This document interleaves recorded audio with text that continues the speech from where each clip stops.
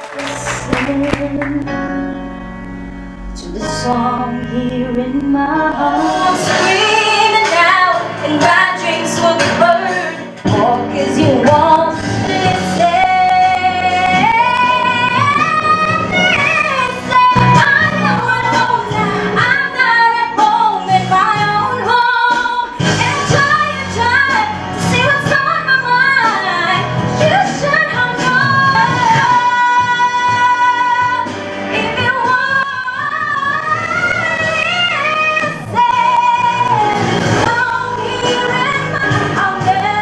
Yeah.